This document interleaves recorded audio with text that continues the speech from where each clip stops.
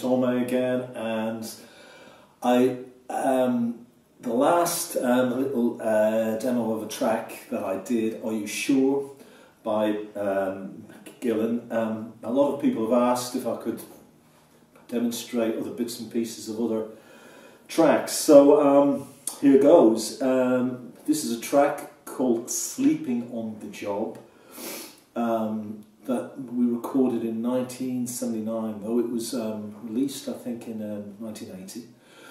Um, um, I'm not going to go through all of it because you know it would take too long and I can't remember it anyway.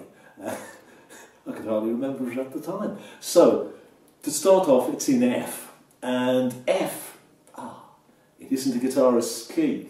So um, it's, uh, it's a keyboardist's key, really, and it was um, Colin who wrote it. Um, and a clever track it is too. If I can start off and show you um, the riff, and I'll play it at the normal speed I'd play it at, uh, which is probably about half the speed it was originally because it was just incredibly fast, as all of the Gillan tracks appear to be looking uh, back on them.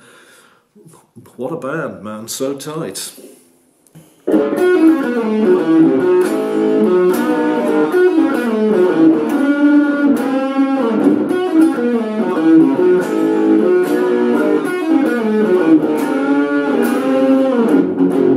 And on. Um, okay, so that is nice and slow and up close. Um, it begins on F on the B string, F, that's F, E flat, C, and then B flat, A flat, F, E flat, C. It's basically just a blues minor pentatonic.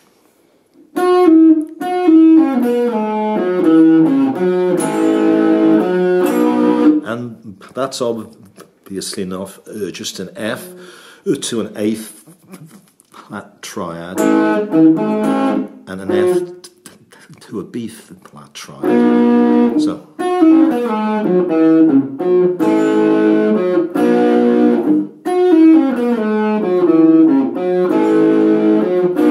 And the second time around it goes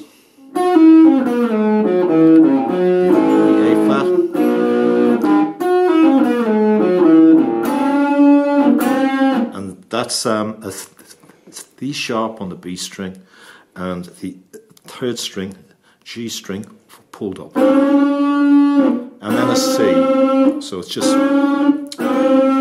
Now all of that goes round and then it goes round again a second time and second time I played.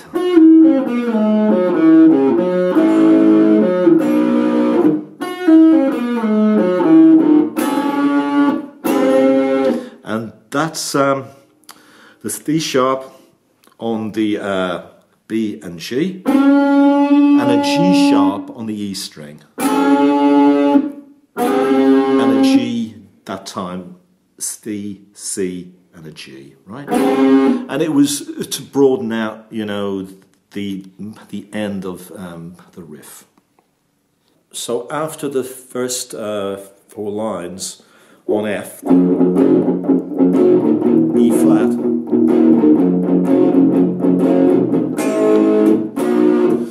Four times round. It went to heaven, a G chord. So um, that was actually pretty pretty odd because everyone would expect it to go to a B flat, but it's a G. So, and a G has um, that great thing that I love as a guitarist. It has an open string. So it could go.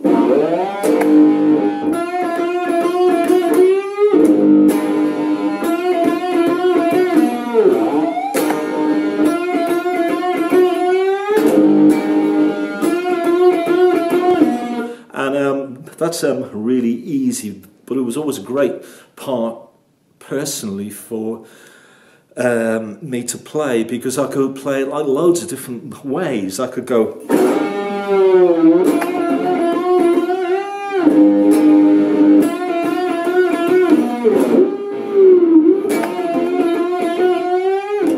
Okay, so at the end of that part, it goes to the chorus thing. Annie, my baby, act like a lady, which is um, again clever. It's C. You know, you, you go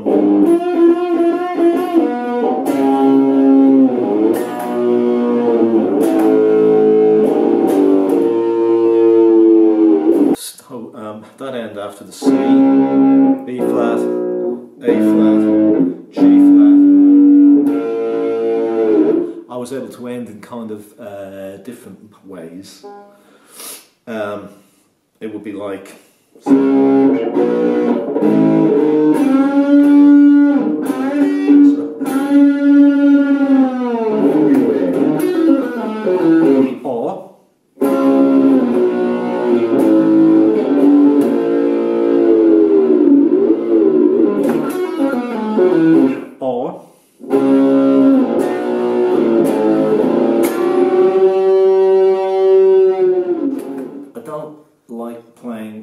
same things all the time because um, it really doesn't hold my attention. Um, I like being able to kind of uh, do uh, variations because to me that is sonically more interesting.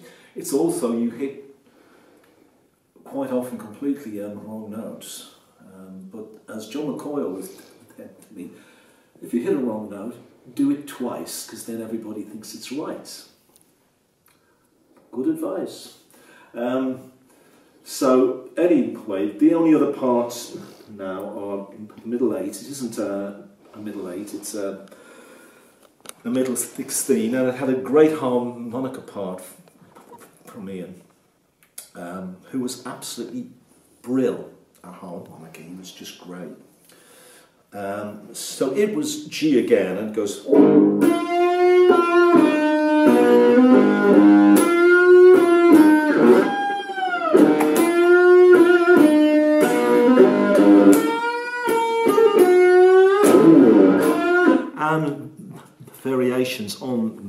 Mean, all it is is a G, and they're kind of like F, E, D, and then B flat B, and a low G. And on the high bit, it's just a B, bent up from an A, A, G. Um, also did it as an octave at the end.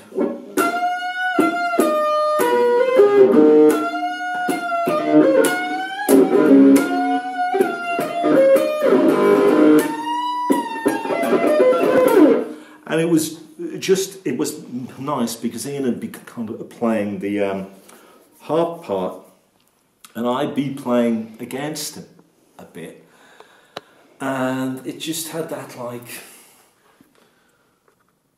bluesy togetherness and untogetherness that was um, really nice. I always enjoyed that part. So after that, it goes in to the solo, and that was um, just a standard Chucky, Chuck Berry type thing on D.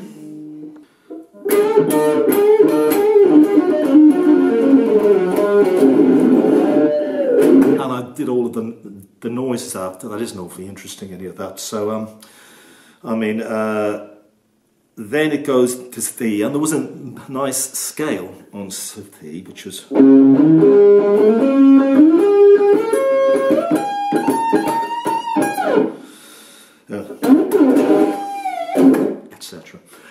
That scale is just uh, basically a C major pentatonic. It starts on the C on the low E string. So that's that's D, E flat, E, G, and then from G. So that's just G, A flat, A, C. So basically, all I do is carry on doing those notes up and up and up. So it's and C again, up to a G and a G, up to a C, up to a G, and then I went.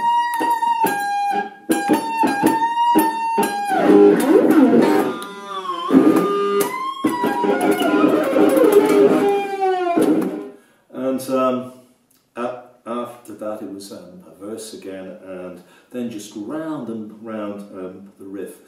For me, and it had a descending bass line and Colin playing harmonies and kind of jamming across it, which was just great. I mean, it was, you know, it was so, uh, it was simple because it was a shuffle, but it wasn't at all harmonically simple. It was really clever. And